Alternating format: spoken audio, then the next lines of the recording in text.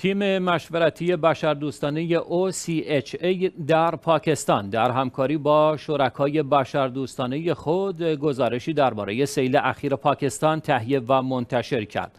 این گزارش وضعیت کشور پاکستان از سیوم سپتامبر تا 14 اکتبر 2022 را پوشش می دهد. از نکات مهمی که در این گزارش به آن اشاره شده موارد رو به رشد بیماری هایی است که از طریق آب منتقل می شود. این موارد بیشتر در مناطق سند و بلوچستان رویت شده است. از سوی دیگر این گزارش می افزاید که بیش از 7 میلیون کودک و زن نیاز به دسترسی فوری به خدمات تغذیه دارند و حدود 5.5 میلیون نفر هم دسترسی به آب آشامیدنی سالم ندارند.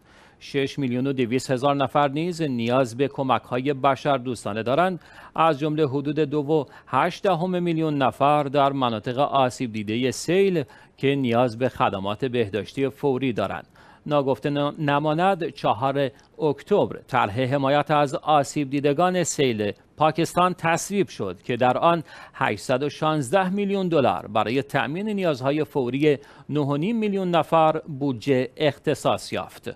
در پایان لازم به اشاره است که در آستانه فصل زمستان قرار داریم و قطعا مردم به شدت تحت تاثیر شرایط آب و هوای سخت در چند هفته قرار خواهند گرفت و نیاز به پناهگاه های مناسب بیش از پیش احساس می شود.